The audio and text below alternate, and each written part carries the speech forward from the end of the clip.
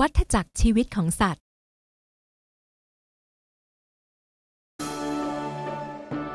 สวัสดีค่ะน้องๆ วันนี้เราจะมาเรียนเรื่องวัฏจักรชีวิตของสัตว์กันนะคะ แต่ก่อนที่จะไปพบกับความรู้ใหม่ ถ้าน้องๆ คนไหนต้องการจะทบทวนความรู้เดิมในคาบที่แล้ว ก็กดปุ่มกิจกรรมได้เลยค่ะ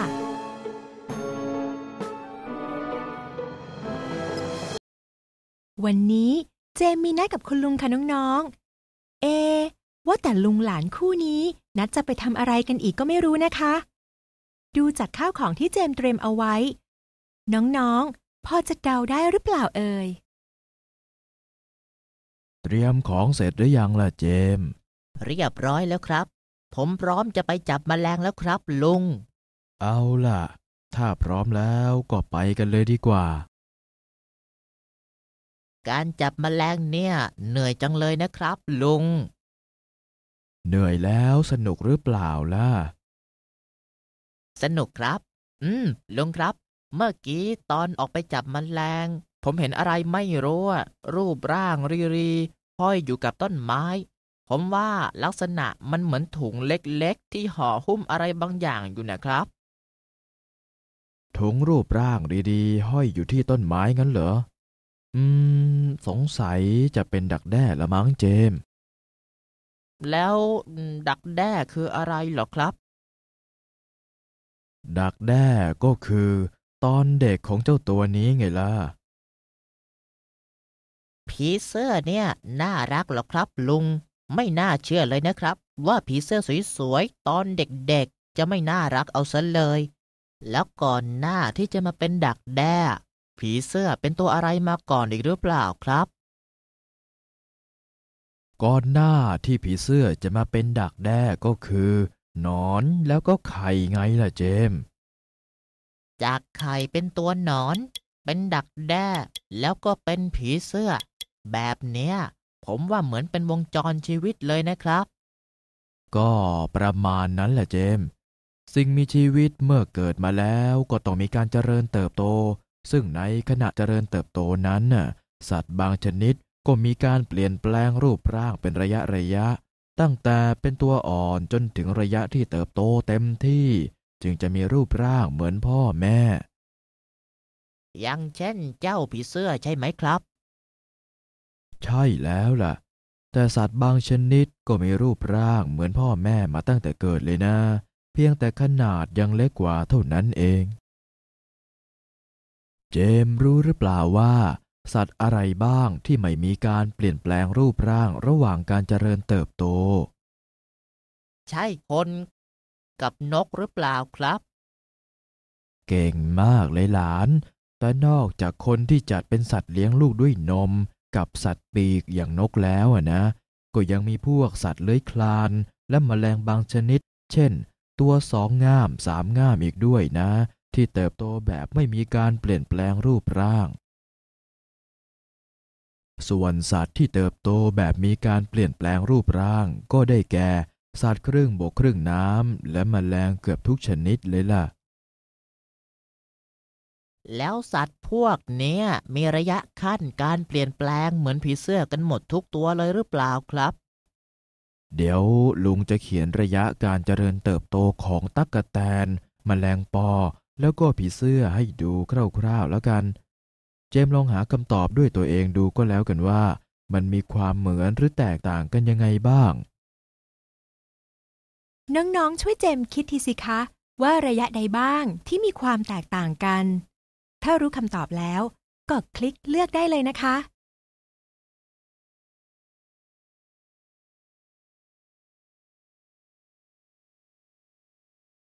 เยี่ยมไปเลยค่ะ ผิดค่ะ ใช่แล้วครับ สัตว์ทั้งสามตัวมีระยะเติบโตแรกคือไข่ และระยะเติบโตสุดท้ายก็คือตัวเต็มวัยเหมือนกัน ส่วนข้อแตกต่างก็คือ ผีเสื้อเป็นสัตว์ที่มีระยะดักแด้ และระยะตัวอ่อนของสัตว์ทั้งสามชนิดก็ไม่เหมือนกันเลยใช่ไหมครับ เก่งมากเลยหลาน เราสามารถจำแนกสัตว์ที่มีการเติบโตแบบเปลี่ยนแปลงรูปร่างออกได้สามประเภทนะ ประเภทแรกก็คือ พวกที่มีการเปลี่ยนแปลงแบบทีละน้อย ลักษณะเด่นของสัตว์ประเภทนี้ก็คือ มีการเปลี่ยนแปลงรูปร่างทั้งหมดสามขั้น คือ ไข่ ตัวอ่อน และตัวเต็ม โดยระยะตัวอ่อนกับตัวเต็ม วัยจะมีลักษณะคล้ายกันมาก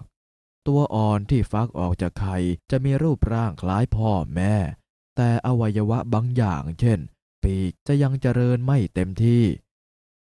เจมพอจะเดาได้ไหมว่า ระหว่างผีเสื้อแมลงปอ และก็ตะกะแตน สัตว์ตัวไหนจัดอยู่ในประเภทสัตว์ที่มีการเปลี่ยนแปลงรูปร่างแบบทีละน้อย ตั๊กแตนใช่ไหมล่ะครับ ผมเคยเห็นตัวอ่อนของตั๊กแตน มันเหมือนกับตัวเต็มวัยแป๊บเลย ถูกต้องเลยเจมส์ตะกะแตนคือตัวอย่างของสัตว์ที่มีการเปลี่ยนแปลงรูปร่างแบบทีละน้อย นอกจากตะกะแตนแล้วก็มีสัตว์อื่นๆอีก เช่น แมลงสาบ ปลวก จักระจั่นจิ้งรีด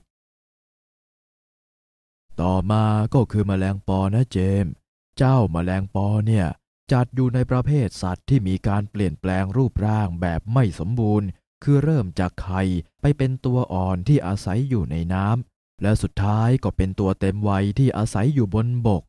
เจมส์จะเห็นได้ว่า สัตว์ประเภทนี้ระยะตัวอ่อนกับตัวเต็มวัยจะมีความแตกต่างกันอย่างเห็นได้ชัดเลยล่ะ ตัวอย่างของสัตว์ประเภทนี้มีอะไรบ้างเหรอครับก็มีจิงโจ้น้ำ กับชีปะขาวน่ะช่วงนี้ชี้แนะ น้องๆ สังเกตหรือไม่คะ ว่าชื่อเรียกในภาษาอังกฤษของตัวอ่อนของสัตว์ที่มีการเปลี่ยนแปลงรูปร่างไปทีละน้อย กับสัตว์ที่มีการเปลี่ยนแปลงรูปร่างแบบไม่สมบูรณ์นั้นต่างกัน โดยเราจะเรียกตัวอ่อนที่ไม่มีปีก ซึ่งพบได้ในสัตว์ที่มีการเปลี่ยนแปลงรูปร่างแบบทีละน้อย ว่า นิมส่วนตัวอ่อนที่อยู่ในน้ำของสัตว์ที่มีการเปลี่ยนแปลงรูปร่างแบบไม่สมบูรณ์ เราจะเรียกว่า นายแอดค่ะ แล้วผีเสื้อล่ะครับ จัดอยู่ในสัตว์ประเภทไหน ผีเสื้อเป็นตัวอย่างของสัตว์ที่มีการเปลี่ยนแปลงรูปร่างแบบสมบูรณ์นะเจมส์สัตว์ประเภทนี้จะมีการเปลี่ยนแปลงทั้งหมด 4 ขั้นคือ ไข่ ตัวอ่อน ดักแด้และตัวเต็มวัย ตัวอย่างของสัตว์ประเภทนี้ก็ได้แก่ ยุง พึ่ง ต่อ แตนแมลงวีแมลงวัน ด้วง และมด เป็นยังไงบ้างล่ะเจม ออกมาจับมแมลงกับลุงวันนี้ สนุกหรือเปล่า สนุกครับ แถมได้ความรู้อีกเยอะแยะเลยด้วย ว่าแต่เราจะทำยังไงกับแมลงพวกนี้ดีล่ะครับ เจมส์คิดว่าควรทำยังไงกับมันล่ะ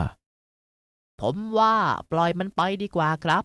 สัตว์ควรอยู่กับธรรมชาติไม่ใช่มาอยู่ในกรงขังแบบเนี้ยออกไปจับแมลงกับเจมส์คราวนี้ ได้ความรู้ดีๆ กลับมาไม่น้อยเลยใช่ไหมคะ น้องๆ ถ้าอย่างนั้น เรามาทดสอบความเข้าใจกันหน่อยดีกว่าค่ะ กิจกรรมนี้ไม่ยากเลยค่ะ น้องๆ เพียงแค่เลือกจับคู่ และจัดลำดับระยะการเติบโตของสัตว์แต่ละประเภท ให้ถูกต้องเท่านั้นเองค่ะ ลองดูใหม่อีกครั้งนะครับ เก่งมากครับ ผิดค่ะ ใช่แล้วครับ เยี่ยมไปเลยครับ ถูกต้องครับ น้องๆ เรียบเรียงได้หรือเปล่าคะ ว่าวัฏจักรชีวิตของสัตว์ชนิดต่างๆ เป็นอย่างไร ถ้ายังสับสนอยู่ เราไปสรุปความรู้พร้อม ๆ กันดีกว่าค่ะ หลังจากการปฏิสนธิภายในและภายนอกแล้ว ไข่ที่ได้รับการผสมจะพัฒนาเป็นตัวอ่อน และตัวอ่อนจะเจริญเติบโตเป็นตัวเต็มวัย ที่สามารถสืบพันธุ์ได้ต่อไป วนเวียนเป็นวัฏจักรชีวิตของสัตว์ สัตว์บางชนิด ก็จะมีรูปร่างเหมือนพ่อแม่ตั้งแต่เกิด คือเป็นสัตว์ที่ไม่มีการเปลี่ยนแปลง รูปร่างลักษณะระหว่างการเจริญเติบโต แต่สัตว์บางชนิดก็มีการเปลี่ยนแปลงอย่างมากในช่วงระยะการเจริญเติบโต โดยเราสามารถจำแนกสัตว์ที่มีการเปลี่ยนแปลงรูปร่างออกได้เป็น สัตว์ที่มีการเปลี่ยนแปลงรูปร่างแบบทีละน้อย คือสัตว์ที่มีการเปลี่ยนแปลงสามขั้น และมีระยะตัวอ่อนที่มีลักษณะคล้ายกับตัวเต็มวัย ต่อมาได้แก่สัตว์ที่มีการเปลี่ยนแปลงรูปร่างแบบไม่สมบูรณ์ คือสัตว์ที่มีการเปลี่ยนแปลงสามขั้น และมีระยะตัวอ่อนที่มีลักษณะแตกต่างกับตัวเต็มวัย และสุดท้าย คือสัตว์ที่มีการเปลี่ยนแปลงรูปร่างแบบสมบูรณ์ จะมีลักษณะเด่นคือ มีการเปลี่ยนแปลงสี่ขั้นค่ะคาบเรียนวิทยาศาสตร์เรื่องวัฏจักรชีวิตของสัตว์ ก็หมดเวลาลงแล้วล่ะค่ะ อย่าลืมกลับไปทบทวนบทเรียนนะคะน้องๆ